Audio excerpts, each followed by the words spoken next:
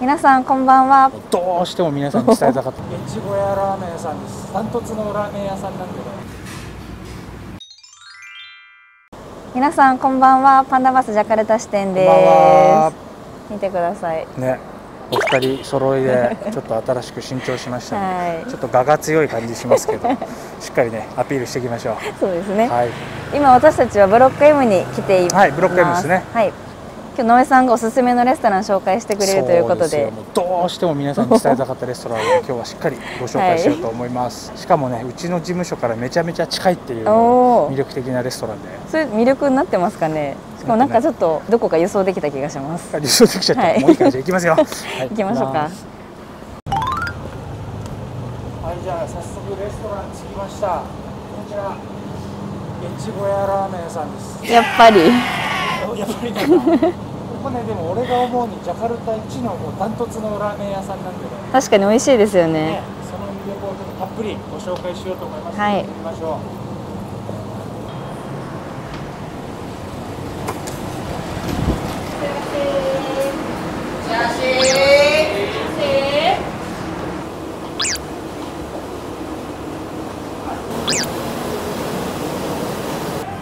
はい、じゃあというわけで越後屋ラーメンなんですけれども、来ましたね改めてですよ、ジャカルタ一のラん。ーメン屋です。はい、野江さんってめっちゃラーメン好きですよね。ラーメンね大好き。大好き。あの週八。大丈夫です。一日二回食べてる日ありません。そういうことですね。そはい、それでも大好きです。確かにここは美味しいですもんね。そう。直江さんが好きっていうのであれば本物かもしれないでですしょ、ね。でちゃん。とね好きなのには理由があうんるんですよ。何ですか？実はねここあの麺とはい。スープがそれぞれ自家製で作あってる。これね、なかなかあの日本国外においてはね貴重かなって俺は思ってるんですよ。ここだいぶ日本的なラーメンですもんね。ね、そうですよね。結構西中さんも来てんじゃない。じゃん。そうですね。直江さんに連れられて何そのちょっとネガティブな言い方 無理やり来でもさされてる本当に美味しいですここのラーメンは。ね美味しいよね。は美味しいですね、はい。うん。そんな直江さんのおすすめのメニューはありますか、もちろんありますよ。まずねこちらタンメン。あータンこれメはねもうあの間違いない。最強。美味しい。うん。あの男性でも十分いけるボリュームだし、とにかくねこれはうまいです 西中さんもでもなんかあります。うん。このネギ味噌ラーメンです。あー確かにめっちゃ美味しいんですよ。はい。ネギがたっぷり乗っててネギ大好きなんで。ネギ女？ちょっと聞こえが悪いですけどまあ間違えてはないですね。間違いない。ということでネギ女ということでじゃあ。じゃあ今日はこれ頼むんですね。はい。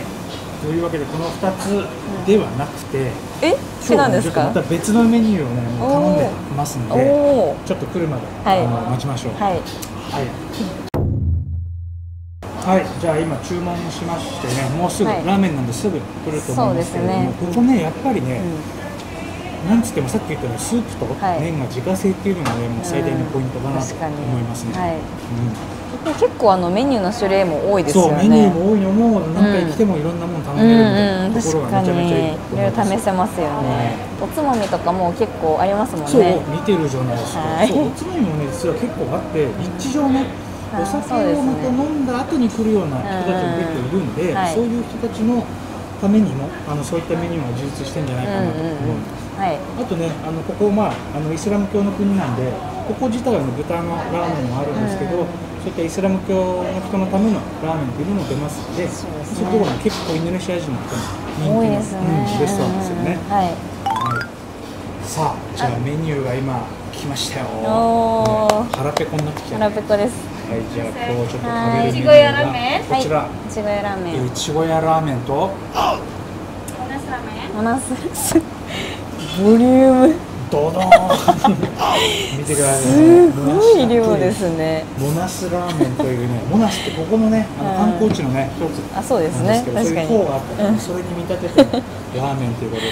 めっちゃ量多くないですか？ね。初めて見ました私。あ本当？はい。そうここのね今目玉メニューになってます のでこれをがっつり今日い。ってやろうかと思いますんで、はい。見てこのニンニクの量。えすごいですよねもやしとチャーシューも大きいしこれカロリー相当ありますから、ね、覚悟しておきましょうか。はい。い。ただきますよじゃあ、はいいただきます。すんごいこれ。本当に。もやしの量が。もやしの量ねすごいですね。なんか日本でもあるよね。なんとか系二郎系ラーメン系。ね。うん背脂がいっぱい出てるような。はいはいはい。うん。機械に入ってる。もやしがすごいよね。シャキシャキでめっちゃうまいもやし、美味しそう。いちごやラーメン美味しい。何 醤油系？醤油系ですね。醤油ベース。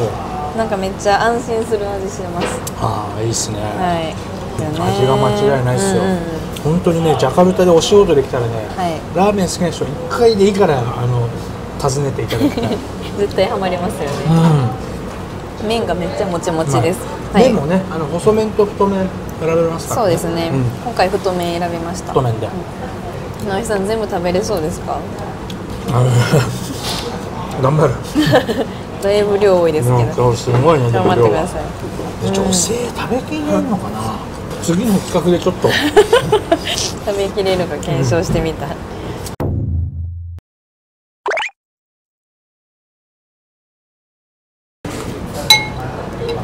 いやめー食いましたよ。全部食べましたね。石中さんも、ねはい。頑張った。そうですね。あともうちょっと。